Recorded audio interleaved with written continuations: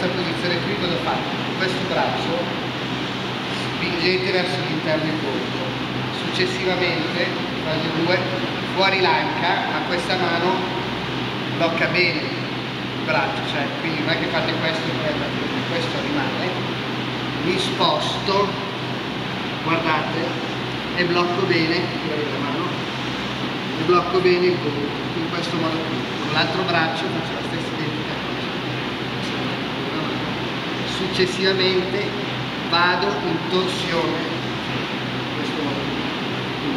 Vuoto, in torsione, e poi andare sopra. Todo chiaro?